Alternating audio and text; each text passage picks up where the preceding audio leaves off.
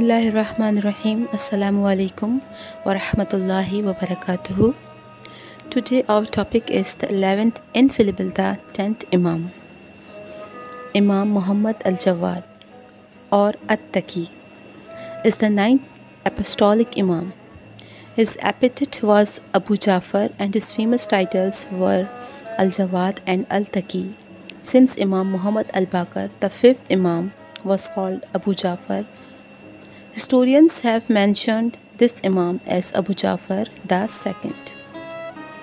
Childhood Imam Muhammad al-Jawad was brought up by his holy father Imam Ali al-Riza for four years under the force of circumstances Imam Ali al-Riza had to migrate from Medina to Khorasan, leaving his young son behind him. The Imam was fully aware of the treacherous character of the ruling king and was sure that, that he would return to Medina no more. So, before his departure from Medina, he declared his son Muhammad al Jawad as his successor and imparted to him all his stores of divine knowledge and spiritual genius. Imamat Imam Ali al Riza was poisoned on 17 Safar 203 AH and with effect from the same date, Imam Muhammad al Jawad was commissioned by Allah to hold the responsibility of Imamat.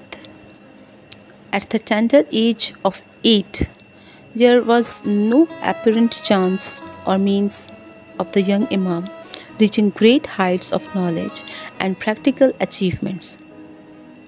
But after a few days, he is known not only to have debated with his contemporary scholars on subjects pertaining to fiqh, means Islamic jur- jurisprudence, hadith, tradition, tafsir, means Quranic exegesis, etc., and outwitted them but also to exhort their admiration and acknowledgement his learning and superiority.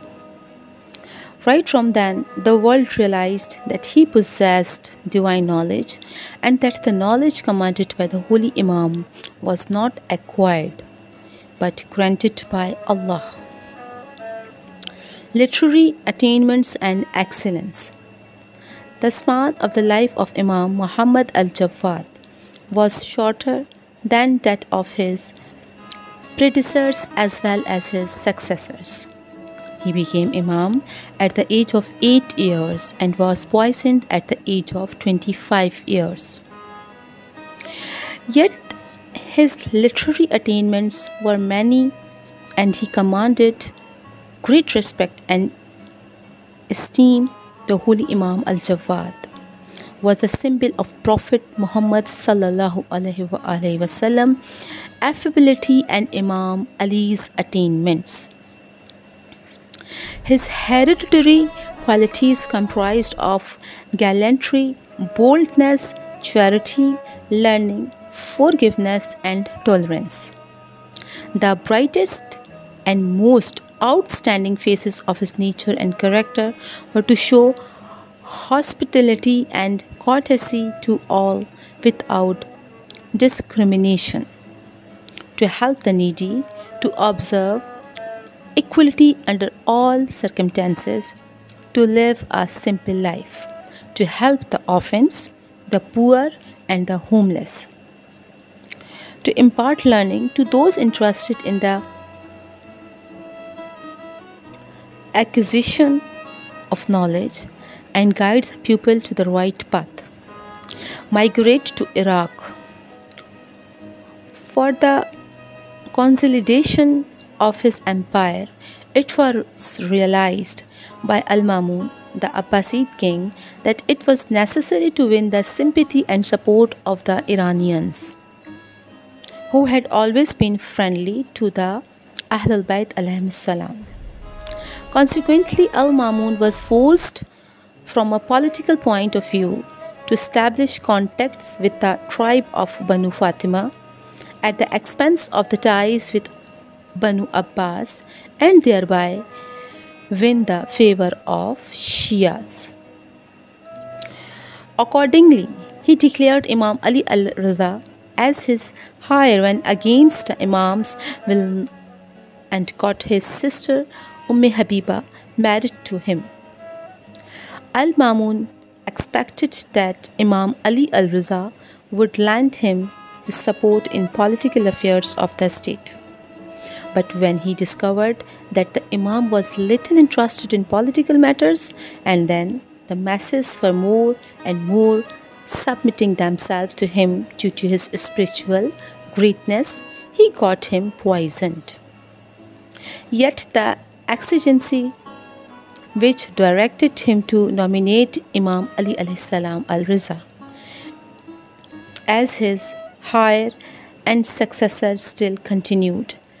Hence, he desired to marry his daughter, Umm Fadl, to Muhammad al Jawad, the son of Imam Ali al Riza salam, and with object in view, he summoned the Imam from Medina to Iraq.